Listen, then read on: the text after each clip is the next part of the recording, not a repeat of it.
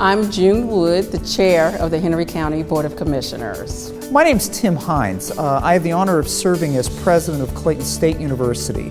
Hi, I'm Sharon Ponder, Vice President of Finance of Bennett International Group. My name is Elna Bula. Uh, I am the founder and president of Family Support Circle.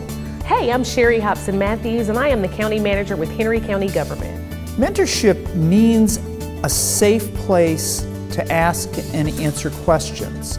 Learning of life lessons, um, especially about mistakes, but more importantly, how both the mentor and the mentee can become better individuals because of the partnership. To learn all of the other elements, um, whether it's in your business or professional career, that you simply didn't know. We all need someone in our lives that would be the safe net uh, for someone that we can be free to ask questions. Between an individual who not only is experienced, but sharing that professional growth with someone who may just be getting started in the profession. Um, very often people may think that, okay, I've been in a business for years, I don't need a mentor. But again, I think um, as you grow in your career, you need them even more. Whether it was uh, a former teacher uh, who provided a safe place uh, to give me a framework um, on uh, learning I was, I was finding in, in a new environment. Um, I went to freshman orientation and a professor was there and said, hey, you know what? You need to get into county government. And I thought, county government? What is this county government thing?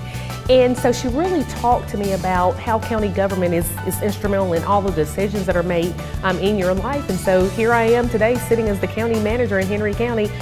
I'm an engineer, so I'm okay with jeans and a ponytail.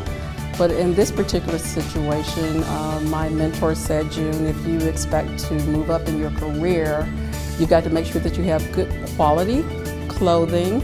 Um, she helped me develop a life goal where I wanted to be five years, 10 years, 20 years.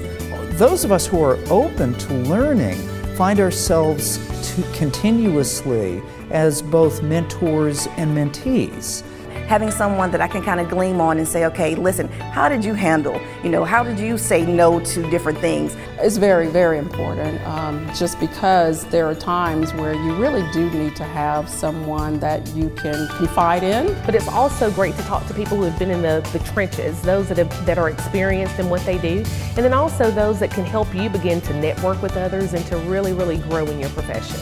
Is really to help spear that and guide uh, someone else because I was able to have that. Someone helped me to, for me to be where I am today.